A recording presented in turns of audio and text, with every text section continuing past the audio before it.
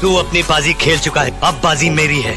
ना मैं तेरी तरह किसी को सुपारी दूँगा, ना ही सबूत मिटाऊँगा। बल्कि जिस दिन मैं तुम लोगों के नाम के मटके फोड़ूँगा ना, उस दिन इस शहर का बच्चा बच्चा बोलेगा, टपका रे टपका, एक और टपका।